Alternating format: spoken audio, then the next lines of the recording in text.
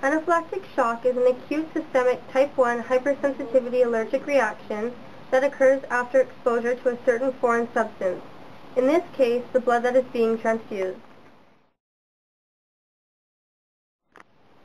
Hello, Mr. D. My name is Chelsea and I'll be your nurse for the day.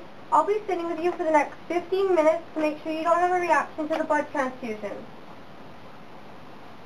The signs and symptoms of anaphylactic shock can vary. Mr. D is presenting with difficulty breathing, wheezing, hives, generalized erythema, a decreased blood pressure, an irregular heartbeat, and anxiety. These are some common signs and symptoms of anaphylactic shock. Mr. D, it looks like you're going into anaphylactic shock. Your blood pressure is 80 over 50, your oxygen stats are at 80%, and your heart rate is 150. Mr. D? The patient has gone unresponsive. Code Blue, room 202. Coming, the doctor and transfusion services have been notified of an anaphylactic reaction. The blood is now being discontinued and normal saline is being infused. The blood is also being checked against the patient ID band. Hello, Dr. Smith. As you were informed earlier, Mr. G had an anaphylactic reaction to the blood transfusion that was being infused. He went into anaphylactic shock. Code Blue was called when CPR was initiated because the patient went into respiratory arrest and stopped breathing. 0.5 milligrams of epinephrine was given subcutaneously and 15 milligrams of benadryl was given IM as ordered.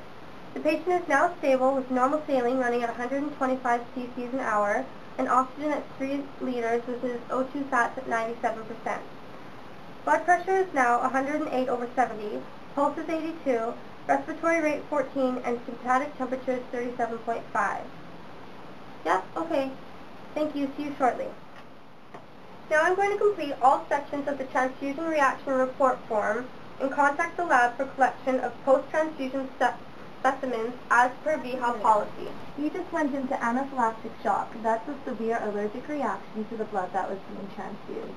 Your vital signs are stable now, but we will continue to monitor you for the next 12 hours because there is a chance of reoccurrence.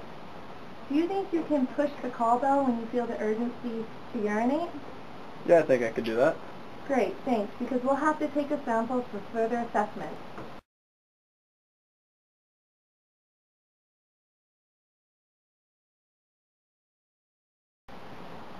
Thankfully, the appropriate and timely treatment for anaphylactic shock resulted in Mr. G making a full recovery.